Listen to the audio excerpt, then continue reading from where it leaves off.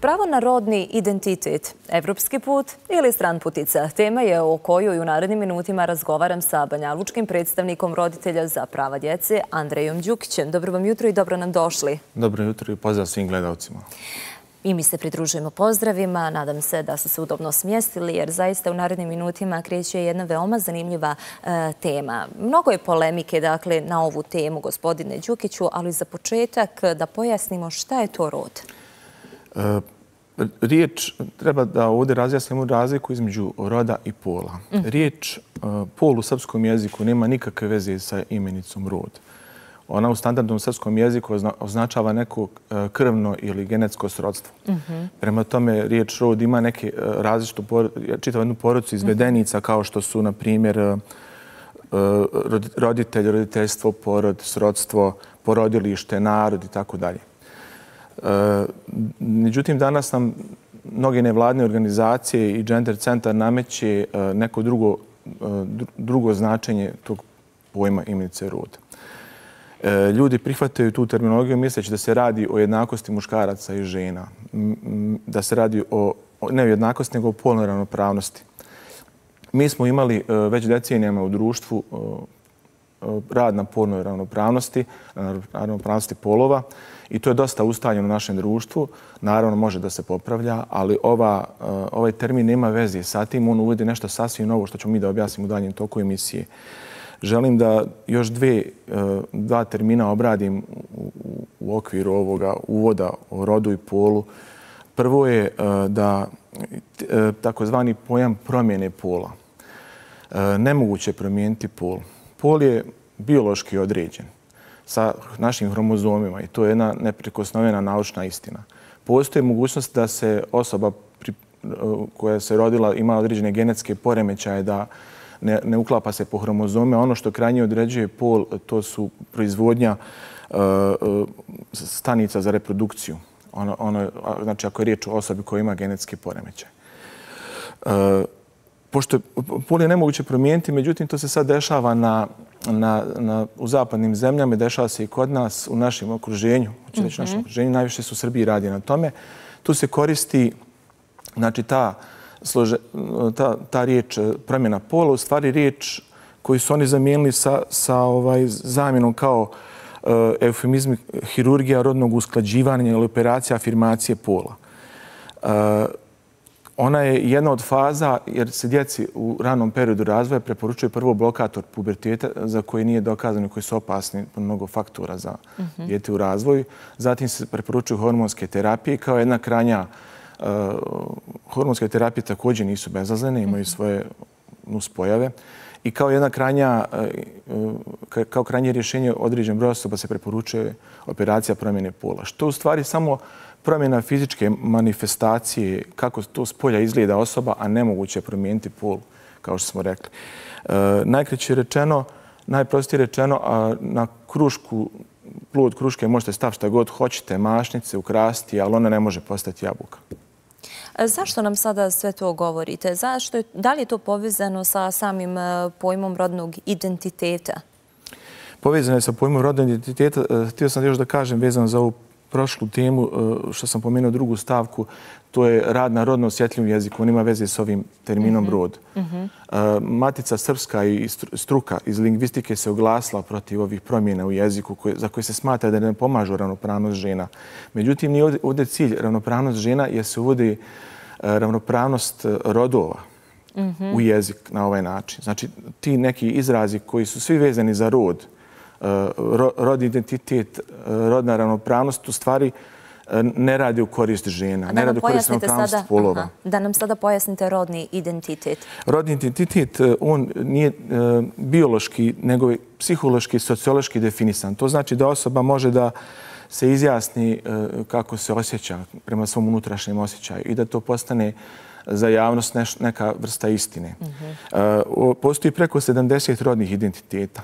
Njihov krajnji e, cilj i rezultat bi bio brisanje polova, da više polova ne postoje. Ma kako to nevjerovatno izgleda. A kome bi to bilo u cilju? E, pa to su zaista krupne riječi. Cilj je, cilj je ovaj, doćemo do cilja. E, doćemo do toga, htio sam da objasnim na primjer. Vratit ćemo se na to samo za... Može, dobit ćemo i primjer, ali samo da nam kažete kome je cilj to.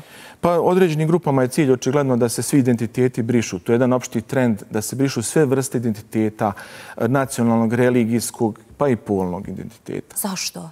za nekakvo utiskivanje novih vrijednosti u čovjeka. Da, u stvari, jedna osoba je to objasnila da je to u stvari jedna vrsta E, vjerovanja e, tih grupa koji to rade da, da će na taj način da pomognu društvu. Tako će izbrisati sve razlike i onda će sve biti u redu, sve će biti jednake. Međutim, pitanje je da li to cilj. Znači, to je jedan od A da li je to već zastupljeno u nekim zemljama? Kakva je situacija kod nas jer mi e, trenutno još važimo kao tradicionalno društvo? Mi kao Udruženje za zaštitu djece, mi smo primijetili u okolnim zemljama da je već kroz zakonodavstvo počelo zaživljavanje toga. I ne samo to kroz medije se mhm utiskuje, tako kažem, program i normalizuje se to stanje.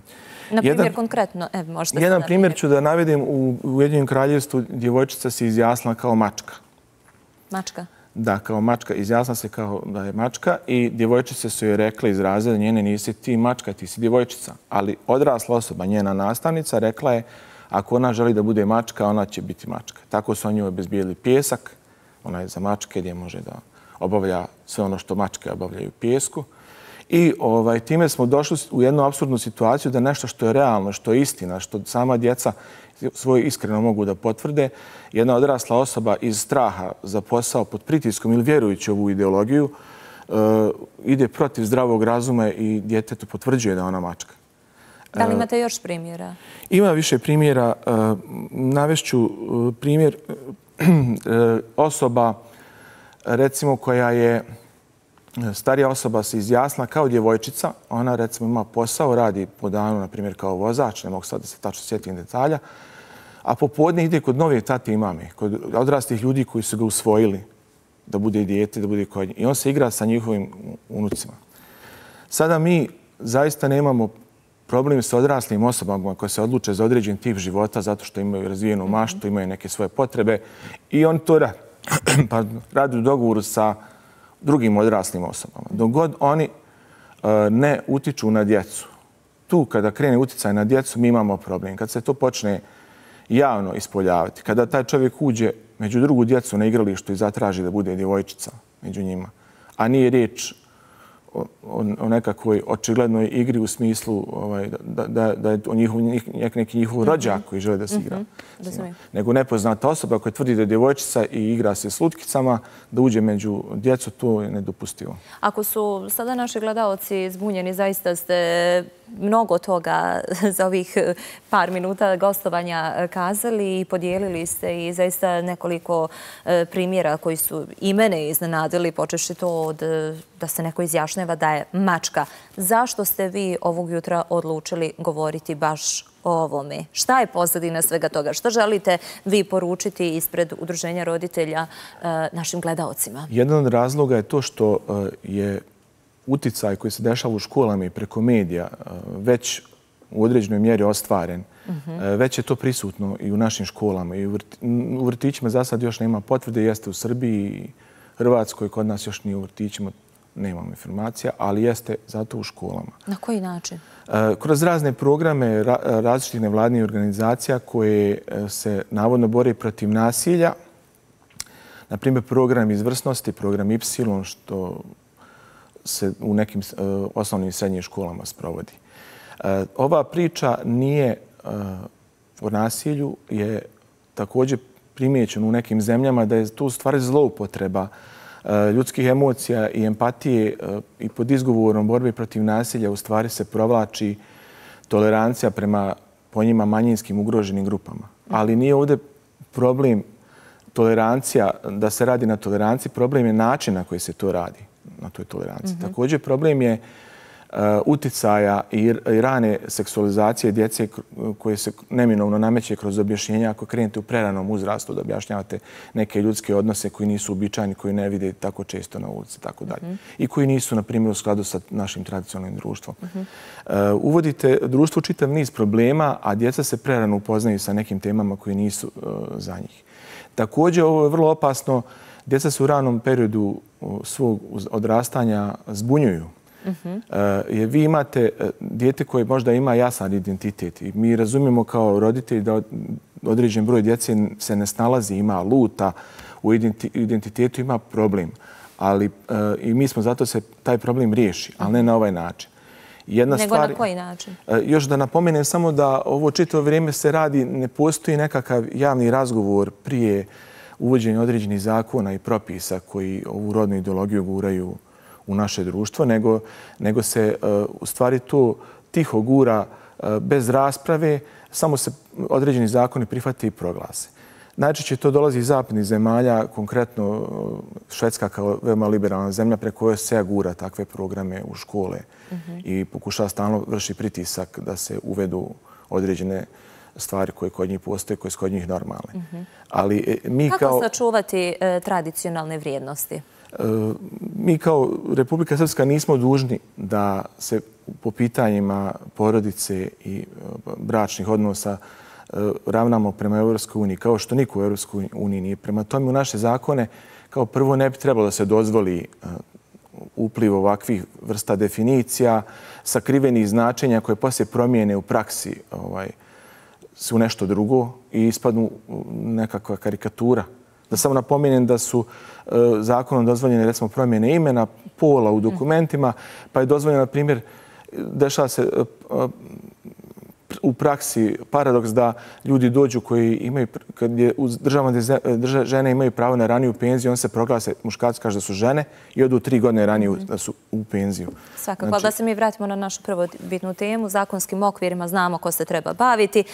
Naše je sada, odnosno vaše sada da preporučite kako e, sačuvati tradicionalne vrijednosti. Koji bi vaš savjet bio? Koja bi bila vaša poruka našim gledalcima, ali i svim organima? Što se tiče zakonodavstva, bilo bi potrebno se povedi računa da se e, zakoni ne prepisuju slijepo, da se vodi računa našoj tradiciji i da se na taj način spriječi da sutra budu roditelji kažnjavani finansijski prekršajno ili čak proglašeno krivičnim dijelom određeno ponašanje. Se to već dešava na zapadu. U Kanadi se otac pobunio protiv operacije promjene pola nad djetetom i završio je u zatvoru na neko vrijeme. E, ne smemo dozvoliti da se tako desi da e, sistem radi protiv djece. Jer ovo je stvar rad protiv djece. Djeca nisu zrela da donesu takve odluke i e, ne bi se smjelo oduzimati roditeljsko pravo e, da vaspitava djecu. Znači, jedan dio počiva na vaspitanju roditelja, velika odgovornost leži na roditeljima. Roditelji su ti koji e, treba najviše da utiču na vaspitanje svog djeteta. Pri tome ne treba da budu zabludi da e, u slučaju ako ovo zaživi kroz zakone, obrazovanje i vaspitanje od vrtića do škole, da će moći kućnim e, svojim odgojim vaspitanjem da dijete okrenu. Jer ovdje je riječ o jednom, kako da kažem, mehanizmu koji je prilično dobro sakriven toliko da mnogi ljudi nisu primijetili da on postoji. A radi se o tome da se djece prvo priča o rodnim ulogama, koje su nekad bile definisan kao polne uloge u društvu, gdje su tipično u nekom društvu muškarca obavljaju određene vrste poslova, e, žene druge vrste poslova. A imate li vi dokaz za ovo sve sada što pričate? Da, ima. Ima u smislu e, programa e, i anketa gdje se pojavljuje treći pol, odnosno definisano kao treći pol, nešto nedefinisano kao rod u anketama prema džacima u srednjim školama, mhm. recimo, koje sprovode te organizacije. Organizacije su normalno finansirane Mi razumijemo da oni iz pragmatičnih razloga, dio njih možda i ne vjeruju to što radi, ali oni to sprovode i to će da na duge staze nanese štetu društvu koja će biti teško popravljiva da zaživi. Zaista teško je davati dugoročne prognoze, ali iz vašeg razgovora moglo bi se zaključiti jedno, a to je da se što više čuva naša tradicija, ako se ne vara. Tako je. Mi iz primjera u stranim zemljama vidimo kako to izgleda situacija na terenu, kako to kad zaživi ova rodna ideologija i kako to kad odrasli sprovode to u školama. Znači, htio sam da kažem vezano za način kako taj mehanizam djeluje, djeca se priča o rodnim ulogama, a onda se zatraži da oni te rodne uloge promijene, da dječaci obuku suknje, Dakle, da ne zbunimo našu javnost, pričate o situaciji kakva je trenutno u stranim zemljama. U stranim zemljama. Neko od nas, dakle, mi smo još tradicionalno društvo i sami ste kazali, dakle, šta se dešava u stranim zemljama, da samo naglasimo? U stranim zemljama se dešava da e, zbog te rodne ideologije, e, koja je jedna pseudonaučna, nenaučna teorija, Dobro. Da se već vrši u praksi pokušaj utjecaja na identitet djece tako da im se briše identitet i traži se odluče kasnije šta će da budu. A umeđu vremenu se sprovode tehnike zbunjivanja gdje se djeca usmjeravaju da probavaju, da jednostavno se ne uklapaju u ono što bi bio njihov identitet prirodni. Mi razumijemo da, naravno, u tom traganju za identitetom mi, smo, mi podržavamo tu djecu koja imaju problem s identitetom da se dođe do rješenja njihovog problema, ali ovo nije rješenje problema. Postoje određene tehnike i metode kojima se može pomoći toj djeci koji imaju probleme sa identitetom. Svakako tu su i naši stručnjaci, odnosno psiholozi, psihijatri koji trebaju razgovarati sa djecom. Trebamo svi svakako razgovarati, ne samo o ovoj temi, već o mnogima, jer jaka porodica znači jako društvo, stup, dakle, okosnica jednog društva jeste jaka porodica. Hvala vam što ste izdvojili vrijeme i što ste bili naš gost ovog jutra i otvorili jednu, pa zaista zanimljivu temu. Hvala vama na prilici na gostovanju i pozdrav sve gledalce. I mi ih pozdravljamo.